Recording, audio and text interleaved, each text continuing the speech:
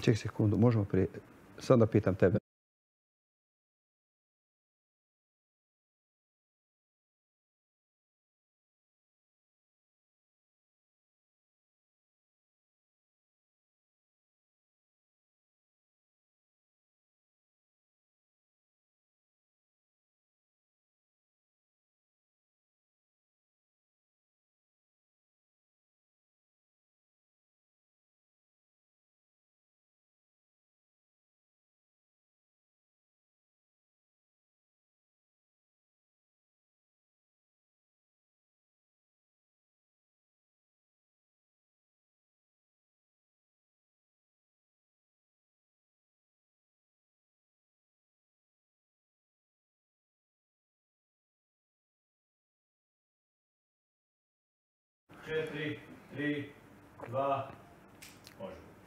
Dragi prijatelji, dobrodošli u A1 nogometni podcast. Lijepo je biti opet s vama ovdje u ovom ljetnom terminu. Ljeto i rekao bih nekako služi za ove prigode da vidimo neke drage ljude iz svijeta hrvatskog nogometa koji nam nisu blizu jer rade daleko ili rade u inozemstvu. U ovom slučaju je jedan od takvih i danas s nama. E, njegovo ime je Dino Jularđija. Dino, Dobrodošao u ovaj jedan nogometni podcast. Lijepo te vidjeti. 18 godina u Dinamo, ako se ne varam, trenutno s angažmanom u Saudijskoj Arabiji. Pa reci nam malo, kako živiš ovih Hvala. e, zadnjih godina, zapravo koliko je tvoj e, odmor u Hrvatskoj? Pretpostavljam vrlo kratak. Pa jako kratak. E, Prije svega hvala na pozivu i pozdrav svim gledateljima podcasta i vama naravno svima u studiju. Nakon dugo vremena rada u, hrvatskom nogometu i Dinamu i reprezentaciji klubovima, ono, došao je poziv e, izvana. Tako je, onda je ono, jedan izazov, jedan izazov nakon e, tih dugih godina i zadnje sezone osvojenja dupla kruna u, jedini u Dinamovoj školi koji je osvojio ovaj, duplu krunu. Onda sam nakon toga onako napravio jedan iskorak, išao sam dalje jer je želja bila za nekakvim e, ajmo reći seniorskim nogometom i ozbiljnim nogometom. Tako da je taj poziv došao iz Saudijske Arabije i korak dalje. Damak, jel? Damak, Damak. Damak, jes. dobro. Damak, e, Saudijska Arabija. E, Malo sam gledao, ima koji sat leta od Rijada, jel? Dva sata, dva sata. Dva sata leta od Rijada. Pa reci nam malo uh, kako si se snašao, kakav je klub. Znamo da su u tom klubu, uh, do nedavno je bio Sudani tamo, uh, Antolić, još uvijek ako se ne varam. Uh, Pa reci nam malo nekakve dojmove kako je bilo i općenito kakva je to sredina s obzirom da je, rekao bih i opće poznato već da u Saudijskoj Arabiji su prilično velike te razlike. I Džeda i Rijad su već dosta dobra mjesta za život, ali kako je u Damaku? Pa Damak je, prvo je to, to je bila jedna mala kolonija u, u nogometnom klubu Damak jer je bilo nas e, devet, deset, e, bilo je Krešimir Režić, Sertić, e, Grujica i tako da je bilo još dva kondiska trenera. I na taj poziv gore ovaj, sam onda, pratio sam naravno Krešu cijelo vrijeme dok je otišao gore i onako bilo mi je to zanimljivo kako to osciliraju, sad su gore, sad su dole.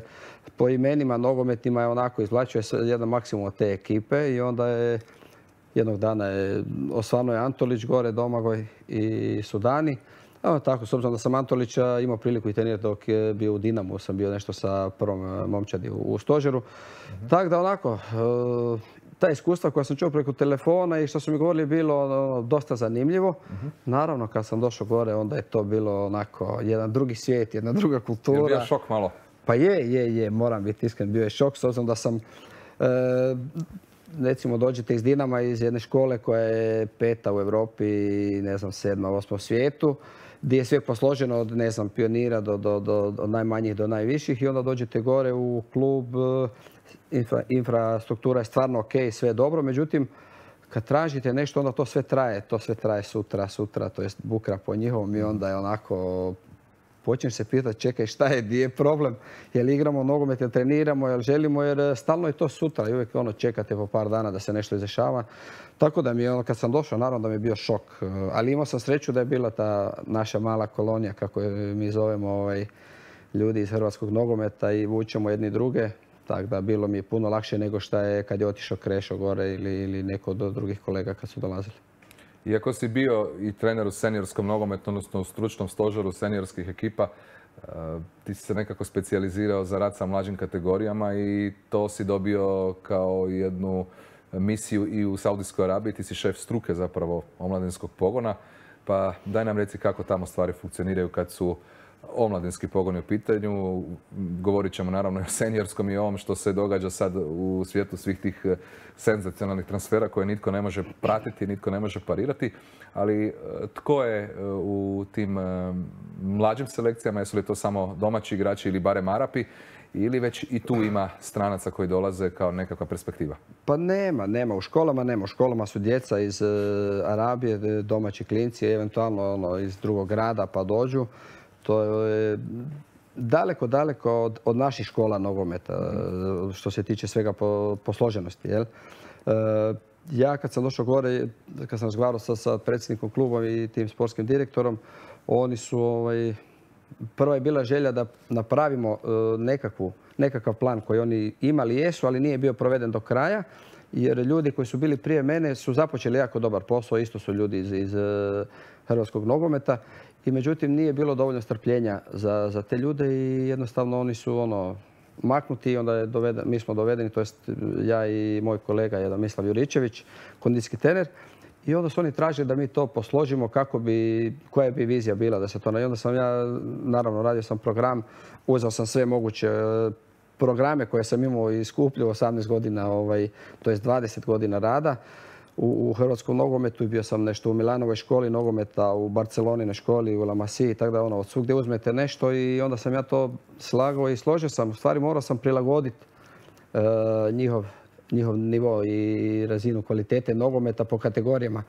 Oni imaju e, u devet, e, znači to je samo igra, nema, nema ništa, liga ne postoji.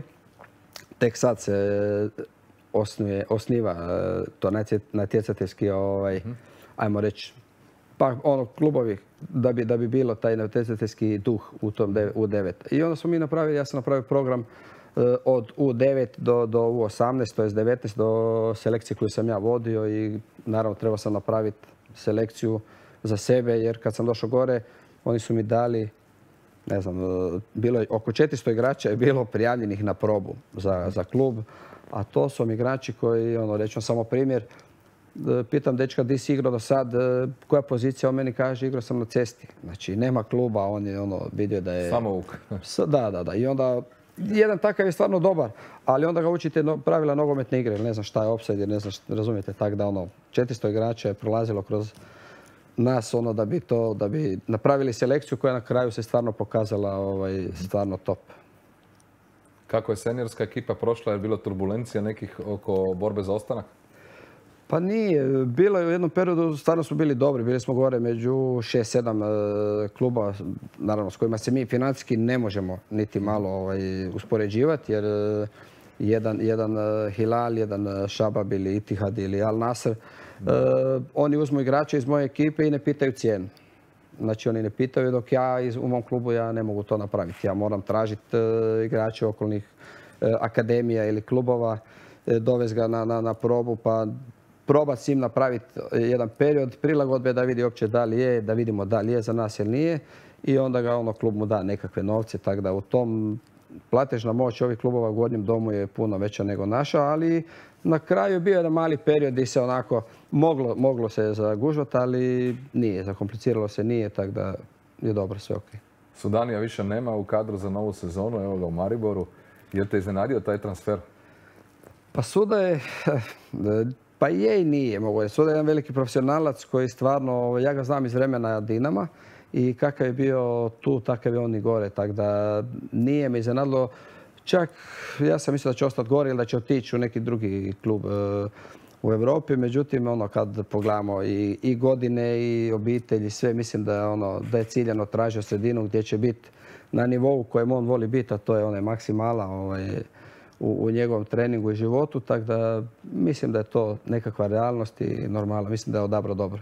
Misliš da može čak i dominirati u Slovenskoj ligi? Pa sigurno da će im donijeti jedan e, plus, ajmo reći, jedan, jedan veliki, ovaj, jednu veliku inekciju, jer on je karakterno čovjek fantastičan, e, profesionalac. To ja ni, rijetko kad se sreće neko takav. E, jedan koji je iznad njega po svim je Ronaldo kojeg sam imao pravo, ovaj, pravo priliku vidjeti na zagrijavanju ovak, tako da on me oduševio, a suda ide tim putem što se tiče profesionalnosti i stvarno mislim da to tako godinama radio i zato je traje, ima 35 godina i mislim da će im pomoći sigurno. Dinamo je opet poveznice u Mariboru, Krznar, Sudani, staro društvo. Koliko je to imalo utjeca? Pa vjerujem da, da je sigurno imalo utjeca jer Dinamo je proizvao puno dobrih igrača i prošlo je, prošlo je naravno puno, puno e, vrhunskih igrača kroz e, Dinamovu slačionicu i stadion. Damir Krzan je bio jedan od trenera i igrača prije svega, pa i trenera zna, zna sudu dok je, dok je bio tu.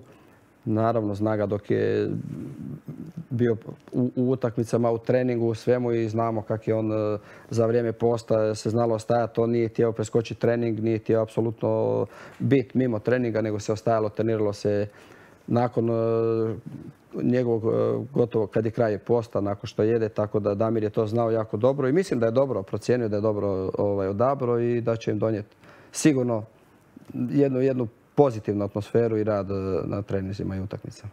A kaže mi Antolić, kako je, kako je Antolić, daleko nam je od oka. I ako bi se sad to moglo promijeniti s obzirom na ova imena koja su stigla, vjerojatno će i prava za Saudijsku ligu otići u nebo i bit će traženo. Ljudi će htjeti možda i vidjeti neke od tih utakmica zbog tih stvarno ekstra zvijezda koje su stigle tamo, ali reci nam o nekadašnjem kapitanu Dinama Antoliću nešto. Antola je doktor nogometa, ja ga zovem doktore. Mm -hmm posebno drag lik, dobar dečko.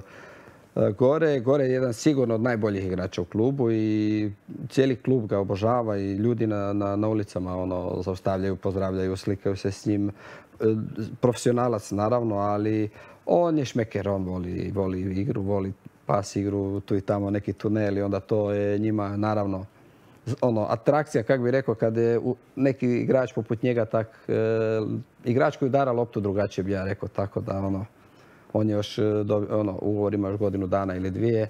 Mislim da uživa trenutno gore i on sa tim ljudima i ljudi u klubu i mislim da je super sve. Da. pamtimo te zapravo mi koji se krećemo uz nogometnim krugovima, pamtimo te najviše iz perioda Dinama. Je li 18 godina? Da, 18 je nešto sitno, sve skupa.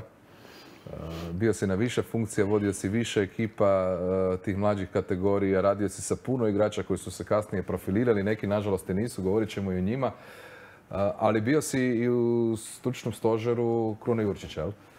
Pa je, jesam. Prošao sam. Dinamo je meni dao puno toga i ja sam naravno dao Dinamo uvijek jedan maksimum koji se mogu i ovim putem bi se naravno zahvalio opet eh, i Dinamo i ljudima u, u klubu koji su tamo koji su imali ovaj, uvijek e, super odnos prema meni i podršku i ja prema njima, tako da puno, puno smo prošli zajedno i puno igrača, kao što sami rekli, ovaj, je prošlo kroz e, edukaciju, kroz utakmice, kroz svega, tako da u, jednom periodu jesam bio ovaj, u stožeru Krune Jurčića, to je bila jedna, jedna... Koji je to mandat Krune Jurčića bio? Ne može se sjetiti vjerojatno. To je bila jedna lijepa. Pa bilo mi je lijepo, moram biti iskren, bilo je super atmosfera. To je bilo period kad je Samir, kad je bilo onek puno problema oko Samira, odlazak e, tipa na pod navodnicima, jel da je odlazio sa treninga na, na, na partijanje, na, na hvari, takve stvari. Je li odlazio? Pa nije, nije odlazio. Bar u tom periodu kad je ta bila afera, kad znam da se išlo igrati Liga UEFA, e, mislim da je u Azerbeđan se išlo mhm. ili negdje. I dan prije je bio, na terenu smo bili, ja sam radio sa Samirom e, po posebnom programu, naravno u dogovoru Krune i Krkija i kondicijskog trenera. I na terenu, poslije treninga je bilo govorno Zdravko je bio, ono, razgovarao je kakav je, šta je, znači sve je bilo stvarno super, e, maksimalno korektno. I oni su otišli jutro na put, ja sam ostao s njim ovaj, odraditi trening kako je bilo zacrtano i dogovoreno i sa, sa prvim trenerom i sa svima. I mi smo odradili trening i ja sam došao u slačionu poslije treninga, ja sam vidio milijardu poziva. Ono. Nisam znao uopće šta se radi, u čem je riječ. I naravno kad sam vidio, onda je već neko objavio sliku da on da Samir nije na, na, na na put, da kao ozlijeđen, da je na moru, da partija. Mi smo bili gotovi s treningom, kao da je bio noć prije dole i da je to bilo ludnica. Mi smo imali trening jutro popodne, znači dan prije, nemoguća misija, tako da ne znam kak je to. Helikopterom možda.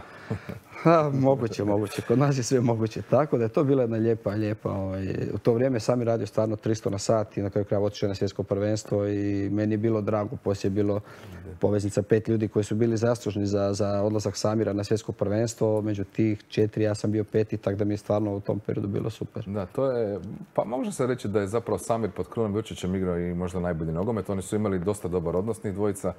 Rekao bih da je Kruno Vučić imao i dosta e, povjerenja, e, bez obzira na sve probleme koje su se veseli uz, Samira, ali da je nekako i Samir Kruni to i najviše vraćao. To se pamti ona utakmica protiv Malmea u kvalifikacijama za Ligu prvaka gdje je možda Samir odigrao najbolju utakmicu za Dinamo.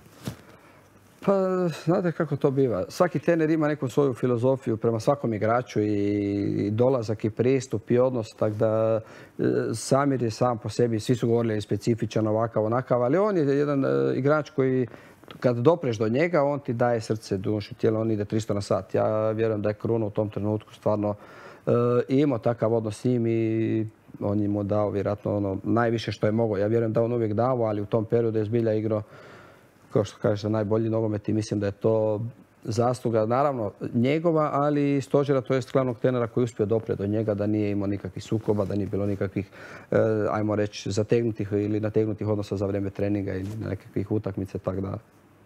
Da. Kaže mi, Dino, ko je se prošao kroz tvoje ruke, da tako kažem, od eh, hm.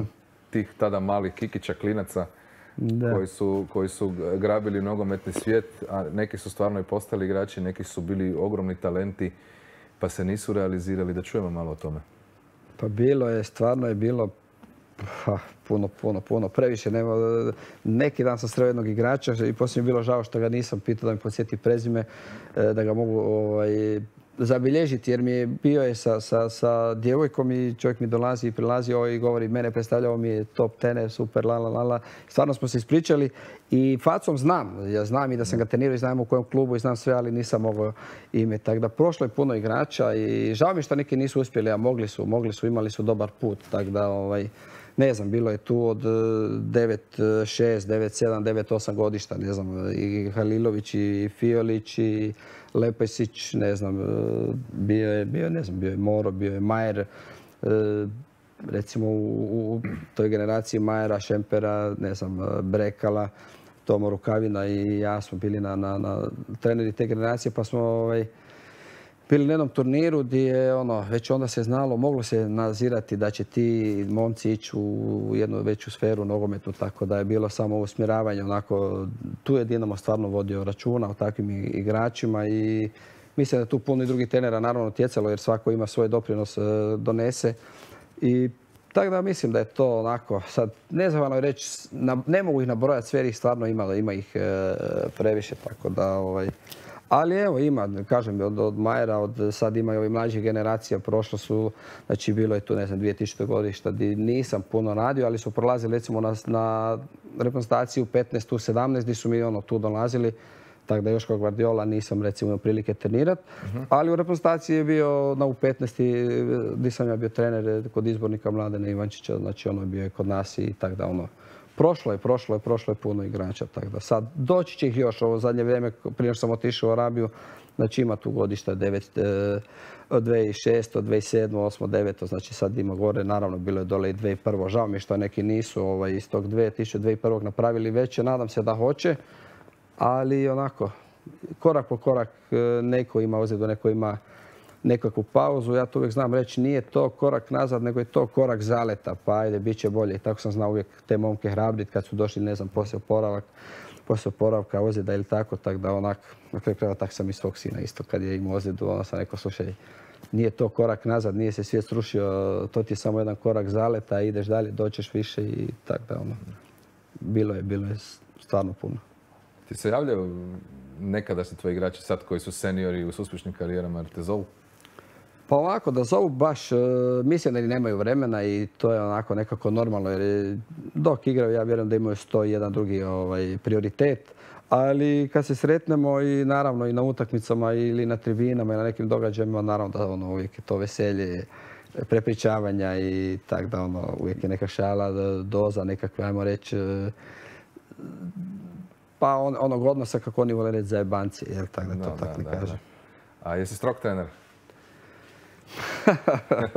Ovako, pa ja volim, e, a ne znam, to bi trebali pitati druge, ali volim rad, volim e, disciplinu, volim i opuštenost. Znači ja sam sad evo, nedavno, sam, nedavno sam imao priliku, jedan kolega iz Eduka mi je rekao kao ti si jedan od rijetkih koji govori e, dribla i gure kroz noge, daj ovo. Tako da volim, kad se radi, radi se, ali na terenu možda ja djelujem ono, ajmo reći, e, preozbiljno ili, ili možda strogo kako bi ljudi rekli, ali nisam, nisam jer e, ja jednostavno nekako gledam da onaj ko dođe meni na teren, ko mi dođe na trening, ja volim da dođe sa smješkom i da ode sa smješkom, razumijete? Tako da ono, i kad, je taj, kad se taj nogomet igra, ja više volim da gurne kroz noge, da da pas nego da zabije gol i to mi je nekako, kad dođete na tribinu, kad dođete na ligu prvaka ili negdje pa čujete ono uuu, pa za to se dolazi na, na ovaj pukne lažnjak ili mu gurne kroz noge, razumijete? Da ono, sad ne znam, to bi trebali, ne znam, pitati nekog da li, ali mislim da nisam, mislim da nisam, ali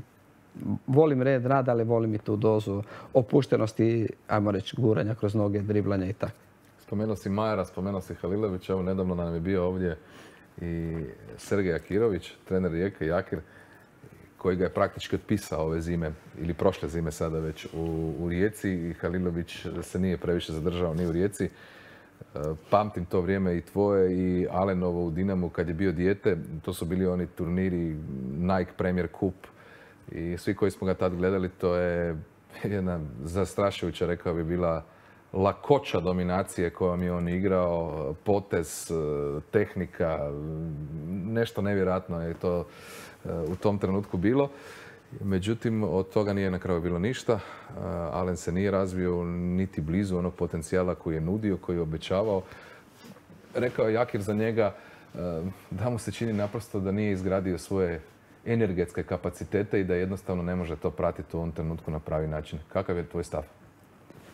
Pa dobro, ja vjerujem da Jakir, e, on ga je trenirao, zna sve, provodio je vrijeme treninge, znači ima bolji uvid nego ja. Ja mogu reći, e, u vrijeme kad smo ga trenirali, bio je Fabijan Komljenović i ja smo bili treneri te generacije, 2006, ovaj, 96, pardon. Mi smo bili u Briselu na dječjoj ligi prvaka. To je, to je znači bila je, ne znam, Barcelona, West Ham, Newcastle, Benfica, ne znam, svi top, top, top klubovi ovaj, su bili. Alen u to vrijeme je igrao sam. Znači, on i Fiolić u, toj kombinaciji, Jurilj, oni su, oni se igrali s njima. Znači, ono, to je bilo, sjedneš na klupu i samo gledaju uživaj. Znači, to je, oni radi toliku razliku. Bio je željan e, i on, naravno i svi drugi. Sada nekog ne zaboravim i od vratara, ne znam, Miškića ili sad da nekog ne, ne fulam. Ali, recimo, imam čak jednu fotografiju gdje je ovaj, igrač West Hama, Alen ga ovako gleda gore, ovaj je skoro dva puta više od njega. Kapetani daju zastavice kad je počela utakmica, to je bio one man show.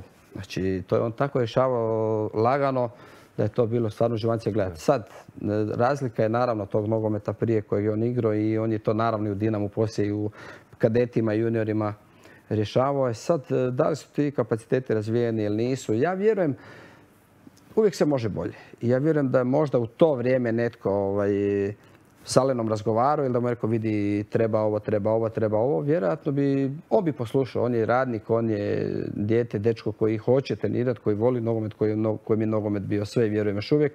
E sad taj razvoj daljni, sad stvarno je teško reći meni jer ga nisam dugo trenirao da ja sad znam kakav je njegov aerobni kapaciteti u, ne znam sad, u Rijeci ili negdje drugdje. Znači, ako je Jakir to rekao, vjerojatno je rekao argumentirano, jer e, poznavajući Jakira i prijatelji smo i kolege, mislim da kad govori da govori uvijek argumentirano, tak da ono, ne bi htio sad ono, u to dalje ulaziti. dobro poznaješ tu situaciju kod razvoja mladog igrača, taj kritični zapravo period prelaska na seniorsku razinu, ulaska u taj jedan svijet gdje su veliki dečki, gdje se stvari ipak mijenjaju za mladog igrača. E, na kraju se ispostavilo da je u tom konkretnom slučaju taj problem nastao s njegovim preranim odlaskom iz Dinama. Pa sad, to su ajmo, priče koje govore je, da li je prerano, da li nije. Pa i danas kad gledate ligu Petica ili ne znam, svjetska prvenstva, e, igrači sa 17 godina, 18 godina startaju ligu prvaka, igraju svjetska prvenstva, tako da ne znam, e, ali je stvarno, stvarno je wunderkind, da to tako kažem, bio. Ja vjerujem da taj potencijal on još uvijek ima i taj voljni moment vjerojatno treba probuditi negdje u njemu i, i dat mu priliku i dat mu podršku, jer e, najlakše je nekoga onako kad mu krene malo ili kad stane karijera, najlakše ga je onako zaustaviti ili pogurati, uzet ću drugog. Tako da Prelaz je sigurno ogroman, e, ogromna razlika i težak je za, za, za sve igrače, tako je vjerojatno bilo i za njega. E, predstavljanju u Barceloni novi Messi, znači naravno da to je jedan ogroman teret e, za svakog igrača, pogotovo dečka od 17-18 godina.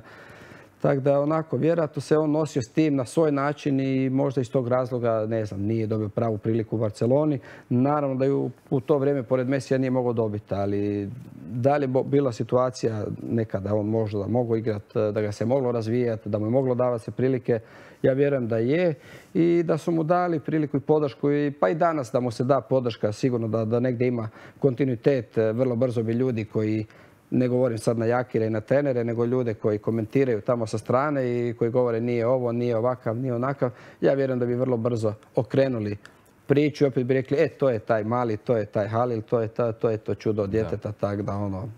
A kaže mi Dina, koliko si imao problema sa roditeljima Znamo da je Sir Alex Ferguson možda prvi rekao da su roditelji najveći problem današnjeg sporta i najveće zlo današnjeg sporta, ako se ne varam da, da ga citiram. Pa u, toj, u toj dobi su roditelji stvarno, ne znam kako bi rekao, nezadrživi u svojoj ambiciji i u svojoj želji da budu prisutni. Uh, kako si se ti s tim nosio? Jesi li imao problema, ne mislim sad da govoriš o imenima, nego čisto o nekim anegdotama? Pa bilo je, pa znate kak je, ovako ja to volim reći, a bilo je problema i naravno da svaki trener ima problema jer e, tata misli drugačije, mama misli drugačije, pa ću vam ispričati poslije par situacija kad mama dođe na razgovor, tak da ovaj... Ali ovako, kad su djeca mala, onda je mala pod navodnicima, znači ja mislim tamo negdje 10-11 godina, onda svi roditelji sjede zajedno za stolom. Znači to se spajaju stolovi kad je negdje, kad se čeka utakmica. To je po 7-8 stolova, svi su zajedno. I onda onako kad e, lagano se to već radi selekcija, pa prvih 11, pa la la la, onda već stolovi lagano se razmiču. E, onda se to postane tako, onda to postanu mali klanovi. Pa ova tri su dobra i njihova tri su standardna, ova tri su na klupi pa su tamo. I tako da se onda to razvodi, onda se kaže ovo je trener, on je dobar s trenerom, on je dobar s ovim, on je dobar s onim. Tako da bilo je, bilo je problema stvarno, ali nije baš ono sada da bi čovjek mogao reći ono ekstremnih. Naravno da uvijek se nađe neko ko misli drugačije od nas i svako od... Ja te roditelje s jedne strane razumijem jer i ja sam roditelj na kraju krajeva i imam sina koji igra nogomet, ali teško je, teško je reći e, nekom roditelju čujte, vaše dijete nije za Dinamo. Jer e, ja sam po tom pitanju vrlo direktan i nemam problem i naravno da ima ljudi koji me ne vole ima ljudi koji kažu, joj, on je dobar s ovim, pa je on. Ali nemam, nemam recimo problem s tim reći ko je za Dinamo, ko nije. Ja sam imao e, priliku trenirati u Dinamo e, dječake, to je djecu od mojih prijatelja koji su igrali nogomet, s kojima sam ja i znao ružiti i izaći van ali nikad nije bio problem ono što se tiče igre. I ja sam znao reći na roditeljskom sastanku, baš da ne bi bilo takvih priča. E, on je moj prijatelj i on je odrastao sa mnom, ali neće njegovo dijete imati nikakvu protekciju e, što se tiče igre. Ali ako su dva dječaka jednaka, uvijek ću dati prvu prednost e, onom kojeg ja poznam i koji mi je prijatelj i naravno da ću dati ovome priliku. Znači neću ga maknuti, ali ako moram birati onda ću uzeti ovoga. Tako da su to ljudi onako nisu, nisu dobro, reci mi, Dino, uh, uvijek ima tih priča ne samo za, za, za nogomet u konkretnom slučaju, nego uvijek ima tog priča o toj dječjoj, dječačkoj dobi. E, dobro, postoje razne razine, jel? jedno je Dinamo, drugo su neke niže ligaške klubove, ali uvijek je bilo tih priča, uh, ovaj je, ne znam, dobar sa, sa, sa tatom, uh, trener je dobar s tatom od ovog, pa on zato igra. Koliko tu ima e, nepravde u toj dobi? Koliko tu ima problema tamo? Ma nema, gledajte. Pa svaki trener, evo, ako, ajmo postaviti tako. Sada ste vi trener i imate 20 dječaka. Nema veze da li znate ili ne znate. Gledate i vidite koji su najbolji. I igrate utakmicu koja je vama bitna. Pa naravno da ćete staviti 11 najboljih. Jel tako? Jasne. Vas ne zanima ko je čiji šta je. Znači ja sam roditelj, ja sam puno puta svom djetu poravao. Ja ste kaže, slušaj me, Trener je taj koji određuje, trener je taj koji vidi možda drugačije nego ja ili ti. Trener je taj koji pobjeđuje ili ne pobjeđuje. On odgovara za svoje postupke. Naravno da ne može to uvijek biti u pravu. Ali da sad neko igra zato što je neko s nekim prijatelj, u mom slučaju toga nema i znam puno kolega kod kojih to nema i sigurno da niko ne ta, čak ne znam ni jednog da, da, da sad ima da može reći gle on je njegov prijatelj pa mu mali igra.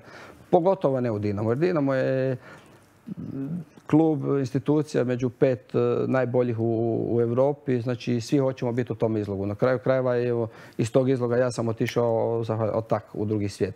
Samo zato što imaš najbolju djecu, najbolju e, kvalitetu rada, imaš sve uvjete, znači naravno da se biraju najbolji treneri. Tako da to da li je neko s nekim dobar ne prolazi sigurno. Naravno, kažem opet, e, ja kad dođem u takvu situaciju nisam imao takve situacije, ali kad bi došao u takvu situaciju, naravno da bi uvijek dao prednost, e, ako su Lila, uvijek ponovim, ako su tu negdje isti, uvijek bi dao prednost da ga vidim ovom kojeg čik tatu poznam, to je s kim sam, ajmo reći, prijatelj, ali ne.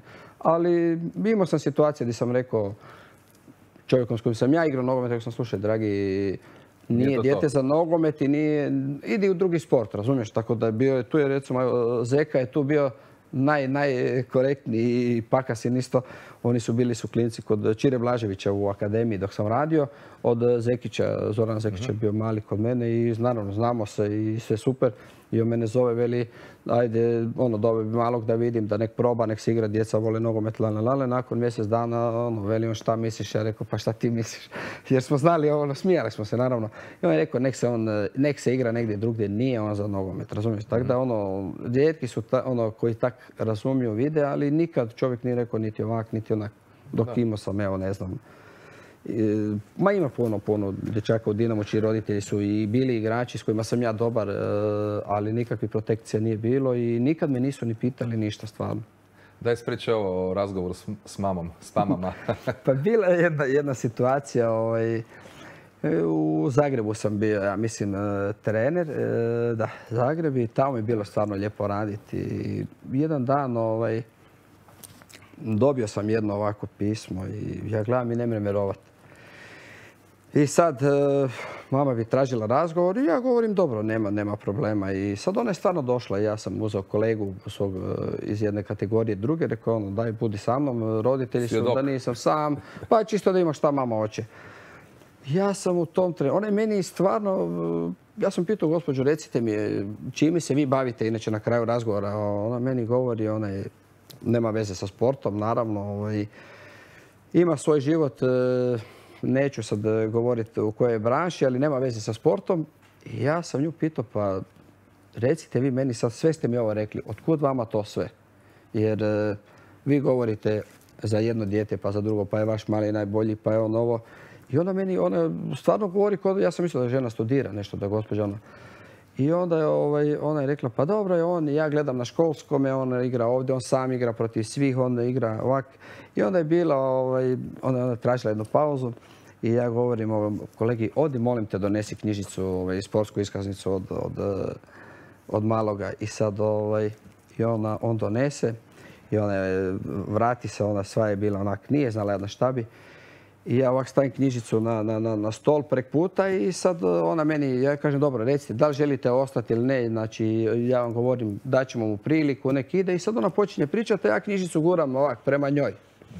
I sad je ona skužila da ja dajem knjižicu prema kao papire da ide. I onda u jednom trenutku počela onak okretat priču. Pa dobro, pa nije, možemo mu dati priliku, možemo ovo. Ja sam tu knjižicu vratio ispred sebe. Ona je shvatila ovaj, koji je smjer.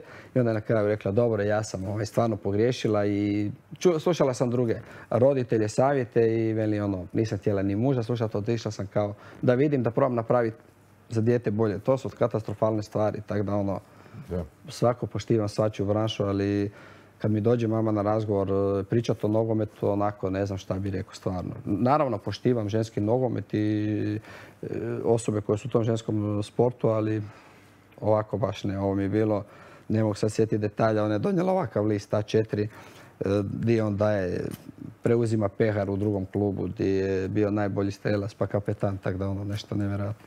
Jer uspio na kraju? Ma nije, nije, nije, nije. Bio je, bio je kod nas godinu dana i onda je, kako su nas trenere mijenjali, ja sam mislio naravno da je dijete samo odustalo, tako da. Shvatio je, da. A kaže mi, spomenuo si sina, Edo, on je profesionalac nogometni. E, bio je zadnju sezonu ili polusezonu u Gorici. Reci mi koliko je, koliko je Dino njemu pomoglo ili odmoglo što si mu ti tata i što si bio u Dinamu u tim nižim uzrastima trener. Kako se tu razvijala situacija? Pa sad koliko mu je pomoglo, stvarno, stvarno ne znam što se tiče tog e, nogometnog svijeta, razvoja. U stvari, ja sam nekako najveći kritičar i uvijek sam govorio, uvijek gledam iz perspektive trenera i tak da ono, u klubu nije baš imao e, neki lagani put, ajmo reći. Doživljavao je nepravdi stvarno. Sad da li je to bilo radi mene, da li je to bilo radi kolega, neki drugi, ali bilo je kolega koji su čak e, stvarno rekli da on nije za nogomet. Da on treba ići, da, da on treba ići e, na plivanje. Mhm. Znači, ovaj, e sad, e, apropo tog plivanja, kad je on tek krenuo u nogomet, ovaj, imao je šest godina, i ja sam taman to vrijeme slago, radio sam s tim klincima, to je bila otvorena škola pred natjecatelji, lala, lala, bilo je to 2001. godište i 2000. I onda je došao je trener jedan e, meni i rekao pa daj malo ga dovedi da ga ja kažem nemoj, nemoj, ide on na plivanje. Ja sam ga stvarno gurao na plivanje jer mi bio, bilo mi je neugodno, ja sam trener u Dinamu, sad odmah, znate kako to idu priče, evo ta bolesni tata malog fura u Dinamo i tako, tako sam ga ja ovaj, usmjeravao, išao je, išao je čak na plivanje i dobio tu diplomu iz, iz plivanja, ali da mu je bilo lako se nositi e, puno puta nije. Bilo je trenera koji su ga stvarno gotivili zbog njegovog rada, znanja i zalaganja i njegove kvalitete ali bilo je trenera kod kojih nije baš bio ono, nije čak ni prepoznat kao talenat, ni ono, naravno da se to može pogriješiti, da li je to bio kratak period rada ili nešto, ali je bilo trenera koji su mu rekli da bi, ono, da nek proba promijeniti sport, nek ide u plivanje, tako da onako. Nije mu bilo lako, nikako. E, bio je u zadnjoj Gorici, sada vidim e, otišao u Sloveniju, potpisao za Domžale. E, je li bilo opcija da ostane negdje u HNL-u? Pa bilo je nekakvih opcija i ono, nismo se htjeli baš pretjerano seliti. E, nakon tog raskida ugovora sa Dinamom e, mislili smo da je Gorica ono, idealno rješenje jer je u tom periodu stvarno su mladi igrači dobivali priliku igrati u nekim razgovorima sa ljudima iz Gorice bila su ono obećanja, će, dobit će priliku, bit će sigurno ono, Međutim, e, sad, ja nisam bio tu, ne znam šta bih rekao, ja sam bio u Arabiji, onda se počele nekakve stvari dešavati. Vidio sam da ne igra, vidio sam da je problem nekakav bio da li, ne znam, treniranja, da li penala, da li svega što se već sve izdešavalo, što sam čitao po novinama. E, u tom trenutku, meni je bilo gore isto teško da nisam s njim mogao ovaj, o tome kako, razgovarati kako treba, ali uvijek imao podršku. Ja sam rekao, gledaj, e, poštivaj trenerove zahtjeve, poštivaj trenera, radi maksimalno koliko možeš, negdje će se to vratiti jer pošten rad uvijek se, uvijek se ovaj, vrati, nagradi i doće sve na svoje. Sad na kraju ovaj, nije se naigrao, nije se naigrao. Mislim da mu je to nekakva ono, da mu je to promašaj, da to svima nama promašaj odlazak u tu Goricu. Sad e, vrijeme će pokazati. Sad je otišao u, Sloveniju. Trener koji ga je gledao na tim prijateljskim utakmicama kad su igrali Gorica i Domžale trener koji je rekao da, ono, da mu nije jasno zašto ne igra, recimo. Tamo Ali poznaš e, Sopića, dobar si sa Sopićem iz tih nogometnih krugova? Pa okej okay, smo si, ne mogu ja da smo si mi dobri. Sreli smo se par puta i njegov sin e, je igrao nogomet u Dinamu B, bio je sa, sa mojim sinom, znači uh, ok smo si, ono, popili par puta kavu, radio je, bio trener Dinama, znači iz nogometnog svijeta smo si ok, nije stvarno sad da mogu ja nešto reći ili da on može nešto reći da smo si super ili da si nismo super. Znači ono, ok, pili kavu, gledali smo par puta utakmicu zajedno u Krančevićevoj i komentirali smo malo te, te, tu djecu i njegov sin je u tom periodu isto igrao, bio je pa nije igrao. Tako da nisam ga nikad nazvao, nisam ga nikad nazvao i nisam nikad pitao, jednostavno mislim da svako ima pravo svoj odabir igrača, on je ima svoj i po tom ono, pitanju nemam šta za reći. Da mogu mu samo čestitati ovim putem ovaj, na, na uspjehu koji je napravio i stvario da je, da je Goricu stavio u, u prvoj ligi i da, da je napravio nešto što su stvarno svi mislili da je nemoguće, ali ja ga razumijem u onom uh, trenutku kada on kaže ja sam poseban, ja sam drugačiji, jer, jer svaki trener razmišlja izvući nemoguće kad je neka situacija da izvuče to nemoguće na moguće i stvarno mu svaka čast, znači nema šta reći. Da, izvuko je doista u jednoj situaciji kad su Goricu već mnogi bili otpisani, Šibenik ima stvarno lijepu prednost, a na kraju to ništa nije značilo. E, još se kratko vrtiti oko ovih igrača koje su spomenuo, recimo Majera. Majer je napravio dobar, imao je dobar zdrav jedan put. E, u Dinamu se profilirao, vrlo brzo je zapravo postao vidljiv, e, nastvario transfer u Ren, u Francusku, vrlo zahtjevna liga, vrlo teška. E, prva sezona senzacionalno dobra, dosta golova, dosta asistencija, baš ono što ti kažeš, e, igrač poteza, čovjek koji mami uzdahe. Potpuno je u jednom nestvarno kratkom vremenu postao miljenik navijača Rena. Isti trener ove sezone, Bruno Ženezio je bio, praktički ista momčad. E, došao ozlijedio se Martan Terije koji je dosta dobro surađivao s njim, ali Majer je potpuno ispao iz, iz ritma i gledao sam te neke izjave Brune Ženezija koji kaže on fenomenalno i trenira i nema nikakav problem izvan nogometa koji bi ga sputavao, ali mi ga jednostavno čekamo, čekamo i tek nešto malo pred kraj sezone Majer je u Renu podsjetio u nekim bljeskovima na ono što se događalo sezonu ranije, a sad ide i ta informacija sve češća zadnjih dana da je um, i transfer tu, evo, ekipi je objavio da Mislim da čak traži uh, Ren 25 milijuna eura. Mislim da je, 25, da, da, da. je neka cifra žestoka tu u igri. Kako bi skomentirao uh, Majerovu sezonu, odnosno zašto mu se to događalo? Pa ovako, kad e, se ekipa posloži, kad su igrači koji treniraju, naravno svi zajedno i oni koji su starteri, koji igraju, e, nakon nekog perioda oni već znaju automatizme i od e, trenera i u igri, i od suigrača i od svega i onda ako u tom lancu dođe nekakva nova karika ili novi igrač na, na poziciju, ne znam, da li desnog, da li lijevog ili, ili zadnjeg veznog ili nebitnog krilnog, Naravno da neki igrači to poremeti i možda je u jednom trenutku, ajmo reći, Lovru to malo poremetilo i izbacilo iz tog nekakvog njegovog e, uspona i njegovih stvarno briljantnih igara, ali to niti malo ne može osporiti njegovu kvalitetu i njegovo znanje, njegov vic nogometni, tako da mislim da on e, sigurno taj transfer, e, iako se ostvari, znači to je ogroman novac i ja mu želim sreću ovaj, da napravi i da krene kao što je krenuo kad je došao u Francusku ligu koja je izuzetno teška, znamo da lega nije, nije nimalo laka. I ja znam puno ljudi koji su rekli kad je on odlazio tamo, joj, pa zašto baš tamo, možda mu to neće pasat, možda mu to neće biti dobro, ali hvala Bogu, ono, odlučuje čiste glave, znao je šta, šta radi, gdje ide i stvarno mislim da će se on vrlo brzo vratiti, da će biti opet onaj Lovro koji je bio na početku, tak da, ono, jednako kao i u našoj reprezentaciji, tak da. Da. Puno se govori o transferima svih ovih dana, jer je normalno prelazni rok. Moram se dotaknuti Hajdukovog Dragulja Vuškovića.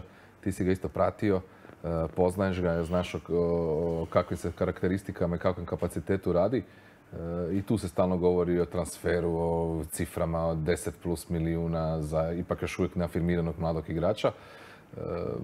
Što bi po tebi bilo dobro za Vuškovića e, da u ovakvoj situaciji radi? Je li ostanak u HNL-u još u ovoj dobi broj jedan opcija za tebe? Pa ja pratio sam malo, s obzirom da smo igrali paralelno kadetsku ligu i pionirsku ligu dok sam bio tu i on igrao za, za uzrast više i kako moj prijatelj e, Luka Vučko, s kojim sam baš nedavno komentirao, mhm. njega zove Vuška, Vuška, ovaj, komentirali smo ga, to je dečko igrač koji stvarno ovaj, daje 300% na treningu i takav karakter koji ne zna stat, koji ne zna stati i ogroman talenat i ja kad pričam s Lukom o njemu on govori stvarno sve, sve, sve hvale na ovome svijetu što se nogometa tiče i kao dečko, naravno kao osoba, kao karakternog momka. Ovaj, tako da vjerujem da će on sigurno napraviti dobru karijeru eh, jer je igrač koji može, koji zna, koji je ogroman talent i mhm. potencijal i mislim da ljudi u Hajduku ovaj, rade dobar posao i s tim doziranjem eh, igranja i za, za B ekipu i sad kad su igrali juniorsku ovaj, ligu prvaka i, taj seniorski nogomet. E, razlika je, to je dečko koji je 2007. godište igra, za, seniorsku momčad, a igra i za juniore. Znači sad on je fizički izgleda moćan, izgleda da je to dečko i je moćan, ali u svojoj kategoriji može se nositi s juniorima. Ali kad on dođe u duel sa dečkom od 28 godina ili igračem, ne znam, naravno da to nije jednako. I uvijek će on ići sa nekakvom dozom, nekakvom opreza, mada nije dijete, dečko koji će se štediti.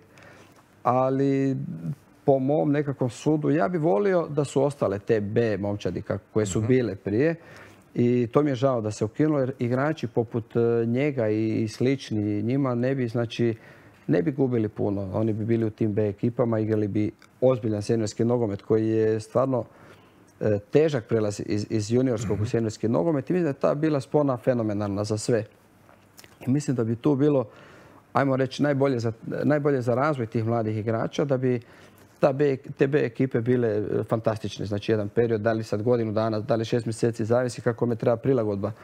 Ali to bi nekako bilo ono moja vizija, moje idealno rješenje da su ostale i vjerujem da bi on tu sigurno napravio jedan ozbiljan iskorak u, to, u tim B ligama, u B momčadima, tak da i onda kasnije sigurno da ne bi bilo problema i ne bi bilo pogreški koje su se dešavale, što su normalno da se desi jer e, ipak igrate seniorsku utakmicu i taj umor dolazi, koncentracija pada, ipak je dečko... Zapravo bilo je tu nekoliko seniorskih utakmica gdje mu je baš bilo teško, jel? i protiv Dinama i jedna i kasnije nešto.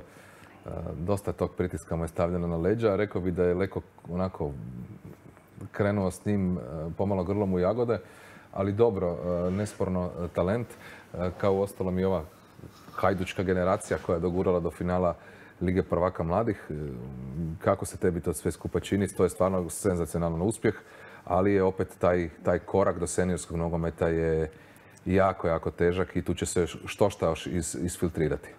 Pa ta generacija Hajduka stvarno ovaj, čestitka im na svemu tome i ljudima koji su radili s tim momcima i trenerima, naravno i, cijelom tom e, stožeru i, klubu koji ih je pratio. Oni su generacijski u zadnjih, ne znam, 5-6 godina su postavili nekakve ciljeve, nekakve standarde, postavili su trenere, edukatore, postavili su igrače, bivše igrače koji su ovaj, sad isto treneri i koji tu djecu vode i koji imaju e, štiha, kušta, što oni kažu, ovaj, u nekim tim stvarima e, nogometnim, da je uvedu tu djecu ono, korak po korak. Tako da mi je žao da nisu došli do, još jednu stepenicu više, ali mislim da će ono, generacijskih godinama da će to biti sve veće rivalstvo što se tiče škole Dinama Hajduka, sada ide Osijek i Rijeka, ali opet Hajduk ima jednu viziju, bar u tom lomanskom pogonu i školi dole, e, jasno, čistu i tu je Boro Primorac koji zna šta hoće, zna šta želi i mislim da u tom putu i u tom smjeru ide sve. Za razliku kod e, nas, zna, kod nas, kad kažem nas, mislim na Dinamo, naravno da je Dinamo je Dinamo i ne može se tu ništa uspoređivati niti gledati i prošlo je puno direktora, prošlo je puno svega. E, sad smo u jednom malom padu bili, mala nekakva je kriza, ali ja vjerujem da će se Dinamo vratiti, da će to ono, pozitivno rivalstvo opet biti na našoj strani, da smo mi ispred.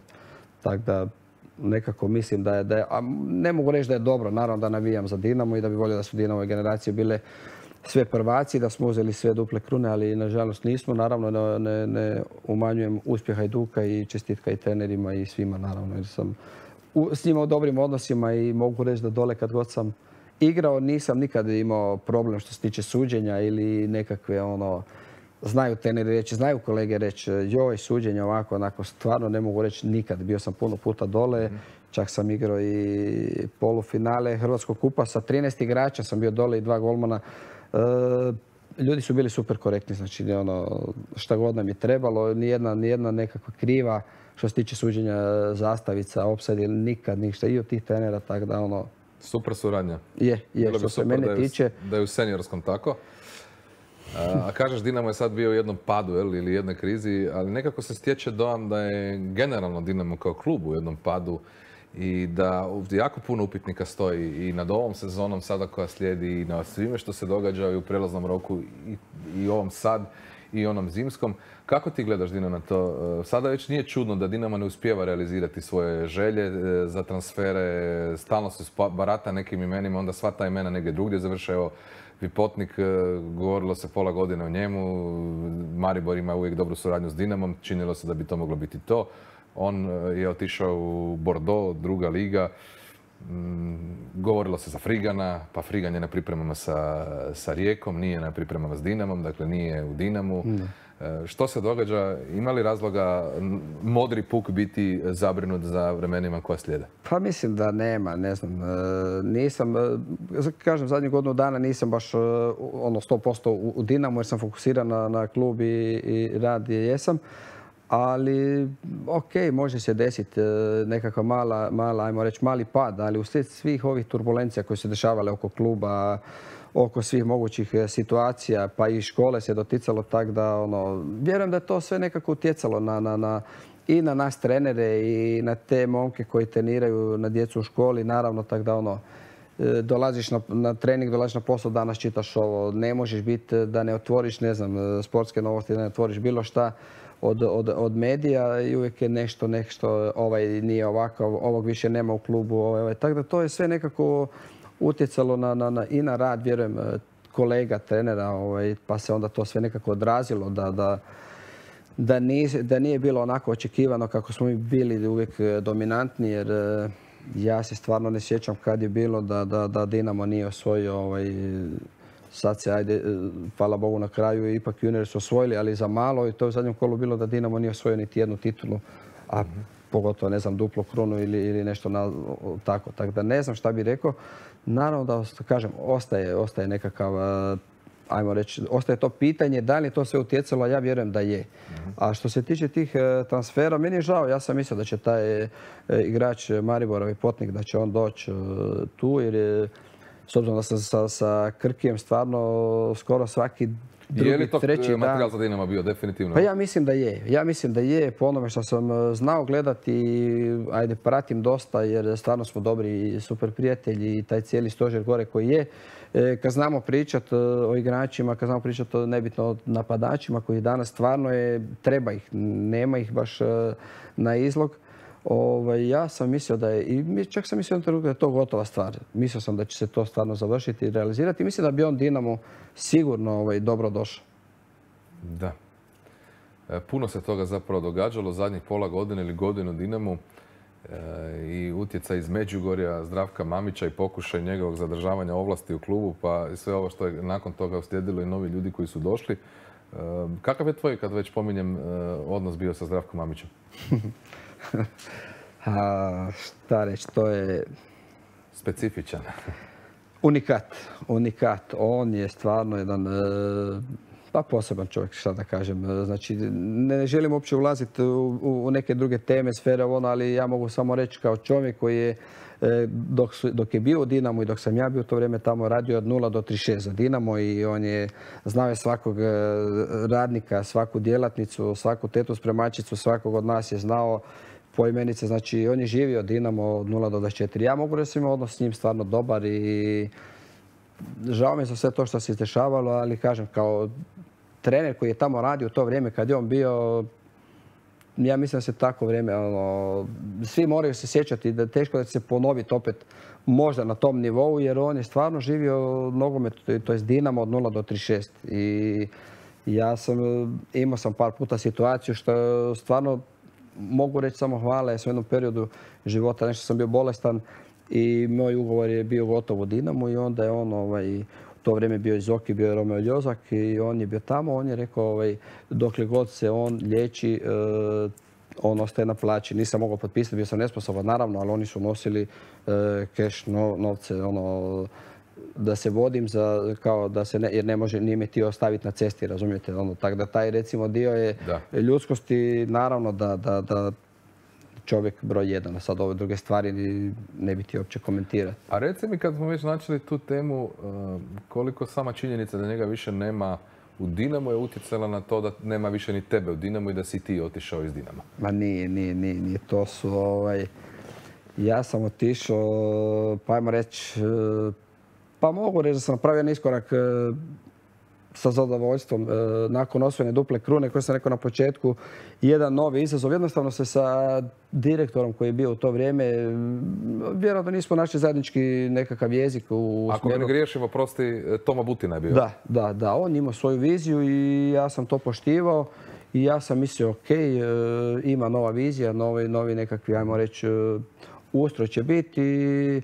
Nismo se slagali, jednostavno ja sam mislio svoje, on je mislio svoje, razišli smo, se ovaj, fair, korektno, ljudski i stvarno sam mu zaželio sve najbolje i želio bi da bude, da mu je bilo tako, međutim, nažalost nije imao sreće i on je vrlo brzo, ovaj, evo, ja mislim čak direktor sa najmanjim stažom ovaj, u školi.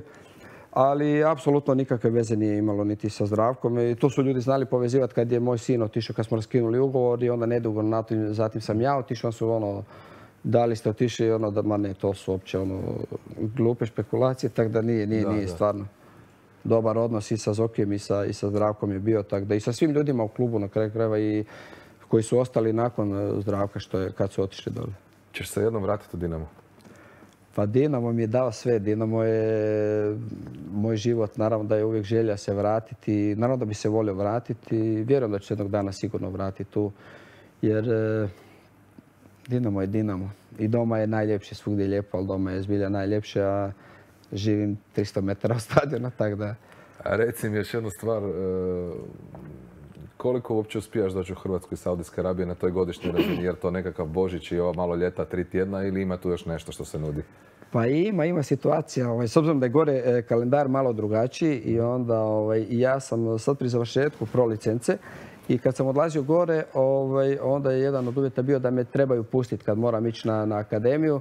Naravno da me ne mogu pustiti svaki put, ali kad mi je važno da me moraju pustiti tako da je onak ispalo je dobro da sam dolazio recimo za razliku od drugih kolega. Ja sam bio 3-4 puta doma u godini dana, mhm. a neki su prije mene koji su bili ono ok, bila i korona pa nisu mogli doći, ali prošle godinu dana da nisu mogli doći kući, čak e, dečko, trener koji me je doveo gore, Krešimir Režić, jedan, jedan Božić smo se čuli i par dana prije i on govori dolazim doma za Božić svojima i ono i osjetim u glasu ono veselje, euforiju, da jedva čeka da dođe, da vidi djecu, da vidi sve.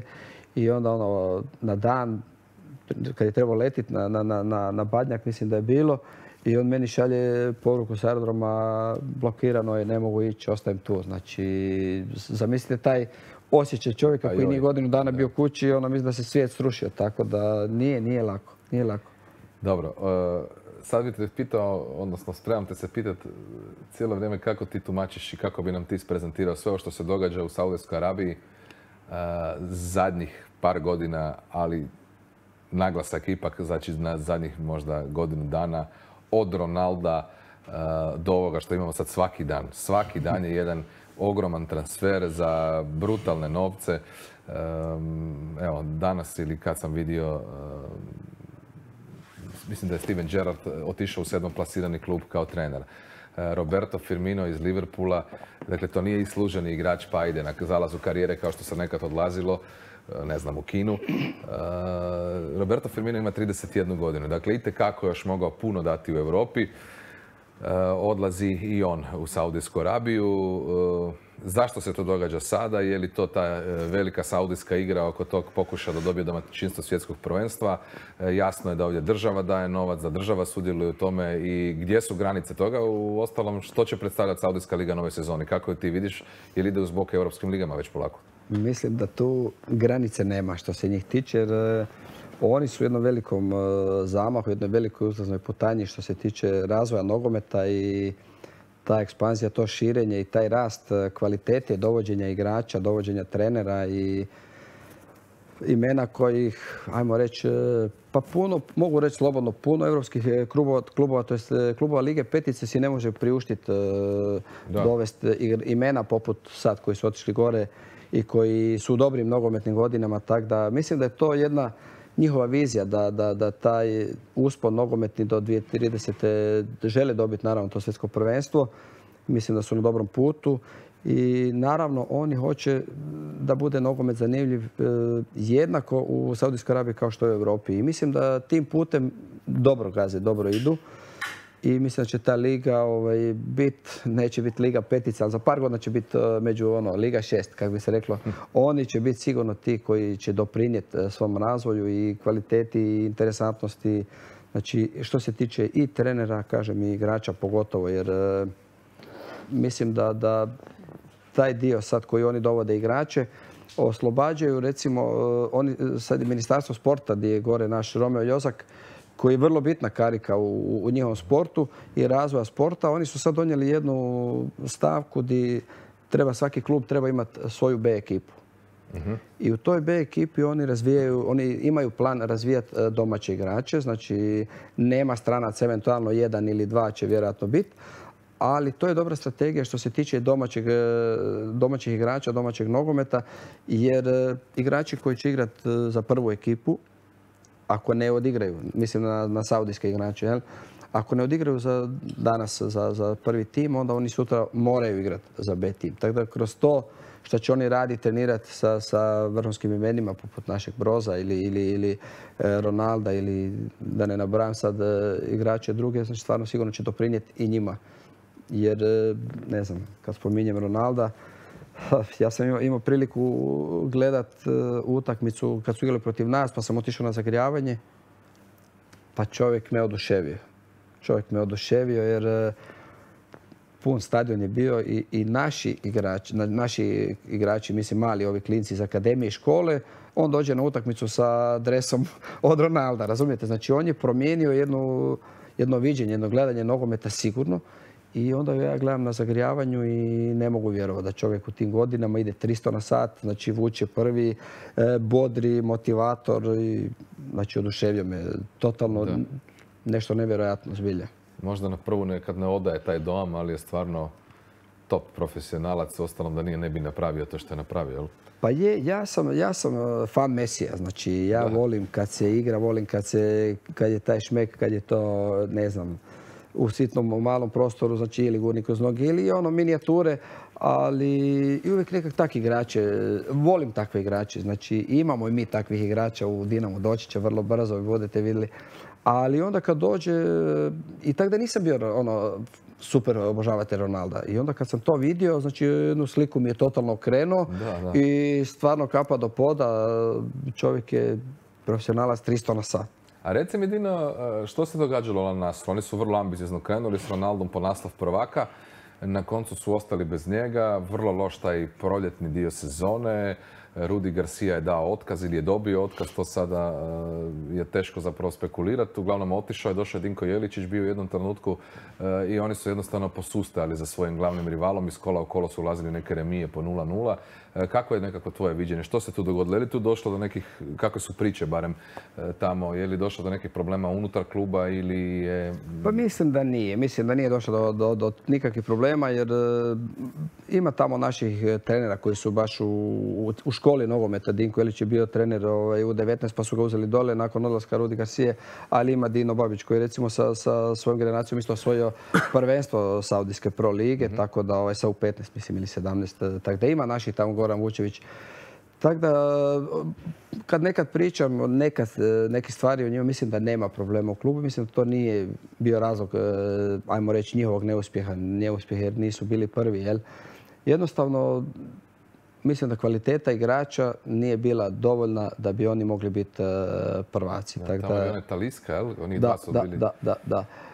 E, to... To, to, to, je jedno pitanje koje ti želim postaviti. Ta razlika u kvaliteti od tih vrhunskih stranaca koji su sad došli i onoga što je zapravo domaće, što je tamo saudijsko, kako to ukomponira da to klapa? Pa, gledajte ovako, znači, e, vi imate jednog Ronalda koji radi 300 na sat, koji je paker, koji zabija golove, koji igra. Znači, vi imate dva igrača u veznoj liniji koji trebaju tu loptu dati, koji trebaju izneti zadnje linije, nekakav miran pas, doći do, do, do veznjaka, do te osmice, desetke, da ju da, da on to može spremiti. Ja mislim sad ovom, ovim potezom e, Broza koji stvarno ima to samopouzdanje, tu mirnoću, tu kvalitetu na kraju krajeva je doveden gore iz tog, ja mislim iz tog razloga jer ima taj, to iznošenje, taj miran pas koji će on dati i može loptu zadržati pod pritiskom za razliku možda od domaćih igrača koji nisu navikli e, pod tim presingom, ne znam, sačuvati loptu ili da dobar pas. Tako da, ja mislim sad e, u ovom dijelu, u, nastavku sezone, u početku sezone da će Al Naster sigurno biti e, jedan od, ako ne sigurno ono, po tim, eh, ajmo reći, kladionicama, prvi koji će osvojiti sve i naslov i taj kup. Ali vidite sami, imena dolaze, ko na traci si laze, tako da to su sve zvučne imena. Mislim da bi sad taj, taj takav eh, profil igrača kao što je Broz, mislim da je to sad to, možda će doći još jedan ili dva i kombinacija saudijskih igrača koji su stvarno vrijedni, koji su marljivi, koji hoće raditi, ali trenutno možda nemaju taj level e, koji ima evropski nogomet ili koji imaju igrači iz Europe, tako da mislim da će to kombinirati jako dobro i da, da ne bi trebalo biti problema nikakvih. Da, tamo su još Ali Tihad, Al Halil, Al Hilal. Hilal. E, Hilal. Shabab. Da, oni su zapravo naj, najveći konkurenti Al Nasru, jel? Itihad je, oni su, ha, uzeli su Benzemu, šta reći, znači, naravno da pucaju, žele ostati e, u tom vrhu i žele ponoviti e, uspjeh. E, Oni su prije tri godine su bili deseti, su bili dole na, na, na, na ljestvici, razumijete, tako da, Naravno, iz godine u godinu raste kvaliteta igrača, raste kvaliteta treninga, raste kvaliteta lige, tako i naravno dovođenje kvalitetnih trenera. Tako da meni je žao recimo da volio bi da, da, da je Dinko se zadržao, da će se zadržati, sad ne znam, nisam pratio da li je ostao ili nije, ali bi volio da smo mu dali priliku ovaj, da nastavi radi s njima. E, poznavajući ono kako oni gledaju, oni žele imena, zvučna imena. Znači Dinko je jedan odličan stručnjak, vrhunski trener, vrhunski dečko koji je dao jedan e, ajmo reći jednu inekciju novu nakon odlaska glavnog trenera jer naravno da su svi bili u šoku šta se dešava i dobro je on to odradio i dobro je radio, znam da je dao 300% od sebe sigurno. Nažalost imao je peh e, taj kup koji je trebao, nije imao sreće naravno da, da, onda je ispao i mislim da je oni sad, e, klub kao klub, e, doveli su i dovešće sigurno će još sletiti koje pojačanje, zvučno ime, da hoće dovesti trenera, znači njima cijena nije bitna i bez obzira što naš Dinko Iličić je odličan stručnjak, e, odličan trener, ne, on će uzeti nekoga, nebitno, da li Murinja, da li nekog on će platiti, nije problem novac, samo da dođe, tako da u tom pogledu mislim Nije problem novac, vidio sam neki dan da su u drugu ligu doveli, ne mogu se sjetiti koji je klub, ipak je drugoligaški, Robija Fowlera na mjesto trenera. Dakle, Robbie Fowler nema baš neke trenerske reference, nešto sitno je radio i to nije bila naravno vrhunska razina. Ali i on prolazi tamo i on dolazi tamo. Bio je ovako omiljen igrač, ali vrlo problematičan karakter u svoje igračko vrijeme. A ja iskreno moram priznati da ga ne mogu zamisliti kao ozbiljnog trenera. Kako to iskomentirati? Pa njima su, oni e, biraju ljude, biraju ljude, ajmo reći, e, nogometna imena kako, kako e, igrače, tako i trenere i onda vjerojatno i igrači koji su bili treneri, oni pretpostavljaju da bi moglo biti dobar, da bi moglo biti kako treba, tako da ono, ako se njima neko svidi i oni to žele, možete vi reći, sugerirati bilo šta, ne, oni su to zacrtali. Oni su to zacrtali i to će biti tako, jer ja znam kad su mene zvali, ja sam onako, ovaj, znali su puno više o, meni nego što sam ja ono razmišljao da ljudi znaju. Nego ti samo sebi. pa da, pa da i onda ono čovjek mi kaže ovo, pa ovo, i onda si zamisliš e, to je to ono. Tako da mislim da u tom pogledu oni se zacrtaju, novac nije problem i, sigurno će dovesti. Kažem još jednu stvar, e, jesi u kontaktu sa e, nekadašnjim šefom na kraju krajeva Krunom Jurčićem i on je na Bliskom istoku radio? Pa sad smo se sreli, bio je on, bio je on u, u Arabiji, bio prije dva mjeseca išao je u posjet. E, vidjeli smo se u Zagrebu, ali gore smo se trebali sresti. Bio je on i Ferdo Milin, e, dolazio je isto je nešto gledao, ovaj, bio je dobio nekakav poziv. Trebali smo se naći u, Dubaju, ali onda je sastanak kako oni njihovi ti šefovi kako obično ono promijene iz minutu u minutu zna se promijeniti nešto tako da smo imali dogovoreno nekako ovaj, druženje ali nismo se uspjeli vidjeti. U dobrom smo kontaktu, naravno, i čujemo se, vidimo Ima kakav angažman na vidiku za njega? Pa ja vjerujem da će biti. Ima nešto, vjerujem da... Jer Arabija opet? Da će se to brzo... Ovaj... Imao je ponuda iz Arabije, ali on nije, nije bio prihvatio. Znači imao je, imao je klub... Uh, ono, znam da su pričali i onda su mene pitali gore, ali je, onda sam ga, ono, poslao poruku, čuli smo se, E, veli on je, ali ne bi, ne bi, ne bi tak da onda nije, nije. Ali mislim da će vrlo brzo. ta trenerska imena koja sad dolaze stvarno sve, sve moćnija, sve zvučnija. Vratio se doduše, on je bio tamo prije pet godina, e, George Jesus koji sigurno nije jeftin, koji je poznat da je, da je jedan od najskupljih portugalskih trenera. Mm, tako da će biti zanimljivo i to tržište trenersko pratiti Vrijeme ide, e, tema je puno, e, dosta smo toga i rekli, ali jednu sam temu gotovo pa zaboravio, a ti si tu, rekao bih, i kako mjerodavan da daš neki svoj sud i da malo o tome pričamo. To je ovaj razočaravajući nedavni, relativno nedavni nastup mlade hrvatske reprezentacije na prvenstvu u Rumunjskoj gdje smo baš bili loši, to se može tako reći da se niko ne uvrijedi, nismo zabili gola, nismo neka velika očekivanja imali, ali puno je tu nekako bilo i nelogičnosti i puno upitnika i o odabiru igrača i zašto su neki igrali, drugi nisu igrali i na kraju prezentacija je ta koja govori o svemu, a prezentacija nije bila dobra, ni što nije bila dobra. I onako moj neki dojam i govor tijela igrača i par nekih situacija igrači koji su, ne znam, zamijenjeni i idu direktno u slačionicu, ne sjedu na klupu, sugeriraju da je ta priča bila tako, onako dosta teška i vjerojatno za sve koji su bili tamo. Kako si ti to vidio? kakav je neki tvoj sud? Jer e, kad se vralo vratimo unatrag, ta ekipa je dobivala neke teške utakmice, važne utakmice protiv ozbiljnih suparnika, a ovdje je, da kažem, kratko bila prilično nemoćna. Sad ću reći, e, lako je biti general poslije bitke, tako da ovaj, ne, bi, ne bi htio se dovesti u takvu situaciju da se to tako gleda, ali da je bilo dobro, nije. Da je izbornik htio najbolje, ja vjerujem da je. Da je bilo opet e, nekakvih e, nama, nama nelogičnosti, naravno da mi ne znamo šta se dešavalo u slačioni i kak je to bilo trenzima.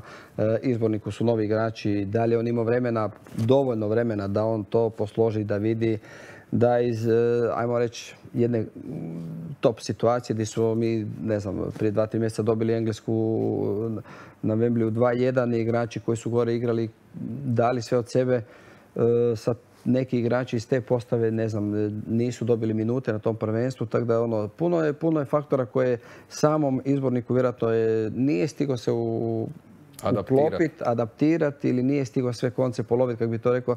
Jer moraš doći do svakog igrača, moraš e, ostvariti nekakav kontakt, ajmo reći, e, u nogometnoj viziji s njim. Tako da sad, e, njemu je najteže i tim igračima stožeru, naravno, ovaj, mi smo bili gore u studijskom putovanju, nas 25 trenera i uvijek komentiramo, završavamo tu prvu licencu, bili su profesori s nama pa smo ono gledali a sad, e, meni je žao recimo što nisu neki igrači igrali. Ja govorim sad e, kao trener koji, poznam te igrače, recimo i e, Roko, Roko Šimić koji je prvi stelac naših kvalifikacija, mislim da je bio. Igrač kojeg sam ja e, u Dinamu, kad sam bio, on nije imao ugovor sa Lokomotivom. Ja sam ga bio tražio da dođe, jer sam rekao, čak sam napisao službeni dopis, da mi nemamo takvog igrača. U Dinamu tad nismo imali. Naravno, da, ja sam to prosjedio, nije došao. Na kraju je otišao u, Red Bull i dečko igra. Znači, ili, ili ne znam, e, Nikola Soldo koji nije dobio minute. Znači, ta dva, tri dečka ima sad da ne nabrajam. Ljubičić. Ljubičić. Ha, nije uopće na listi, šta da... Ne znam šta bih rekao, ne znam. Taj dečko je igrao kod nas, ja sam bio trener u 20 reprezentacije i on je igrao zajedno sa Friganom. A to je ja mogu reći samo iz, iz moje perspektive, opet ponavljam, ne znam šta je bilo tamo e, i šta se dešavalo u Slačioni, e, zašto nije dobio priliku, ali po meni igrač koji je sigurno gol igrač, koji dao je dosta golova u, u Lincu, tako da po meni ti igrači neki su trebali biti, ili sad vi kažete neki nisu pozvani, pa bilo je igrača koji su igrali HNL e, ligu i po mom, opet ponavljam po mom, vjerojatno bih ja pozvao. Jer su igrali, imali su jedan kontinuitet odigranih utakmica u HNL-u. E, pogotovo ta zadnja linija, ovaj, taj Jelenić iz, iz, Varaždina, ovaj, ne znam, opet bio je bio u reprezentaciji, igrao je neki igrači nisu, sad čitao sam nešto po medijima, ovaj nije igrao, ovaj nije igrao, mislim da se to ne može ovaj, paralelizirati ako je igrao ili nije igrao. Gledamo trenutnu situaciju, na kraju krajeva mi smo, kad pogledate statistiku, možemo je pričati što hoćete, pa dosta igrača je nije u natjecateljskom nekakvom periodu bilo da bi sad mogli reći je ovaj igrao pa će dobiti priliku, ovaj nije igrao. Pa kažem, teško je, nije bilo dobro, naravno da nije bilo dobro i meni je žao izbornika i mogu samo zamisliti kak je njemu u tom svemu bilo i ne zabiš gol, tako da ne znam šta bi rekao, žao mi ga. Vidjet ćemo što će zapravo biti sa Lukom Modrićem u ovoj novo nastale situaciji koja se sada, ne nogometnoj situaciji e, sa suda u Osijeku i državnog odvjetništva. Neki sugeriraju da bi to mogao biti njegov kraj e, definitivan u reprezentaciji, ali bez obzira na to, e, polako dolazi kraj toj našoj generaciji koja nas je nosila kroz Rusiju i kroz Katar, jer ti senatori su na izlasku. Na zalasku e, svojih karijera, velikih karijera. E, imamo li razloga biti zaprinuti zbog onoga što se događa ili ne događa u tim selekcijama nižim, odnosno mlađim kategorijama? Ma mislim da ne. Mislim da ne, jer pa imamo mi igrača stvarno super kvalitetnih.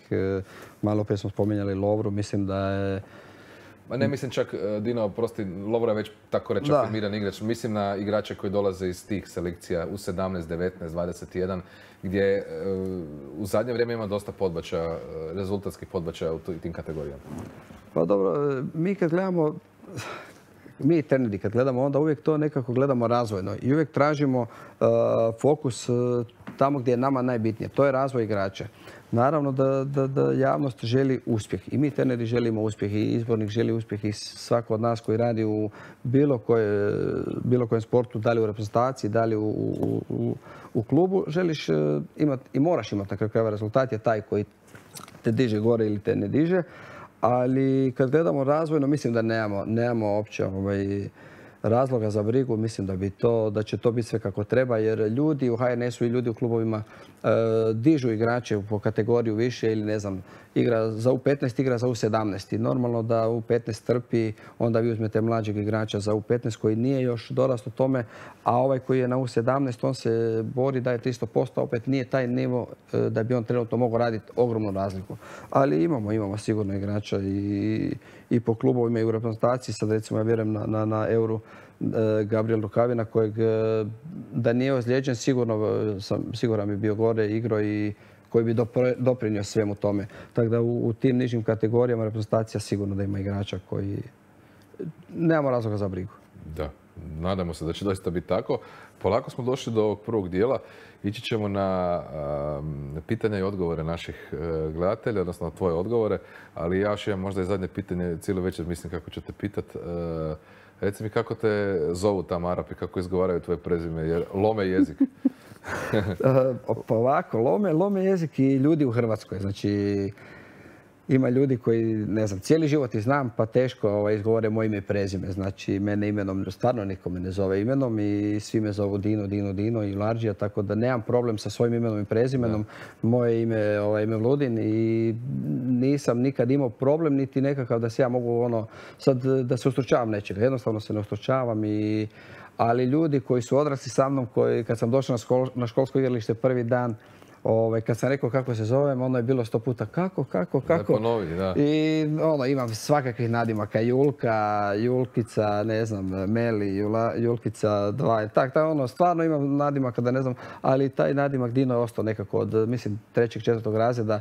Uh, u razredu su me počeli tak zvati i naravno ljudi koji su sa mnom u školu me neki zovu imenom, ali Mislio sam, tvoje, sam zapravo na prezime koje nezgodno mogu, mogu pretpostaviti da je za pa Arape. Vrlo nezgodno, jel? Pa vjerujte mi, evo oni mene na službenoj stranici gdje me god predstavljaju, predstavljaju me znači, Dino i Larđija ili čak imam i Julka negdje gdje oni napišu svoje, znači ono kad ide line up, kad je, kad je, kad izbacuju van, ono, coach Julka, Dino i Larđija. Julka, brazilac, ono. da, da, da, a neko misli, neka ženska ovaj, asocijacija je Julka, tako da zbog prezimena zbilja. Ali nemam, nemam problem s tim i stvarno me tako zovu tamo i sve, čak karte kad rješavaju, kad idemo ono, na avion, znao sam dva puta imat kartu, ono, Dino i Lađa, tako da, bez obzira što je putovnica, što je sve, ali jednostavno... Da, da, e, Super, Dino, e, hvala za sad. Idemo na kratak break i onda Q&A, dakle, vi ste na potezu.